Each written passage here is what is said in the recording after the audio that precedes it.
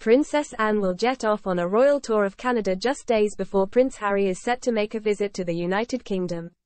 The Princess Royal will be making an official visit to Canada between May 3 and May 5, although full details of what her visit entails have not yet been released. Harry meanwhile will be visiting the UK from his Montecito home in California, USA, to speak about the Invictus Games at St. Paul's Cathedral on May 8. Anne last visited Canada last year when she traveled to the nation twice within a month, reports GB News.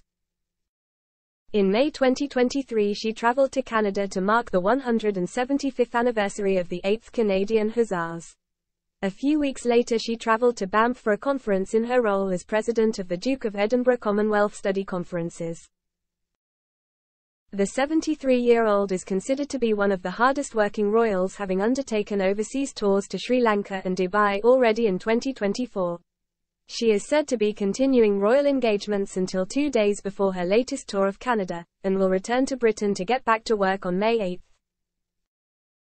Anne's Middle East visit saw her attend the Seafarers Awareness and Orientation Day in Jebel Ali, a Dubai port town. While she completed a three-day visit to Sri Lanka in January at the request of the Home Office.